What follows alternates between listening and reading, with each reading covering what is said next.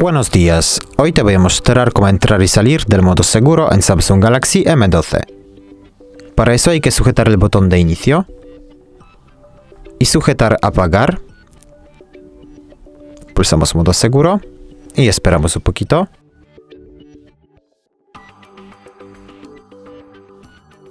Y como ves, el teléfono ya está en el modo seguro. Para salir de este modo hay que simplemente sujetar el botón de inicio y reiniciar el dispositivo.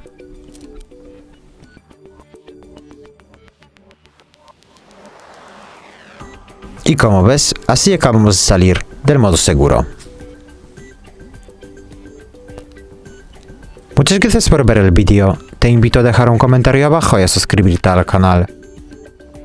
Hasta luego.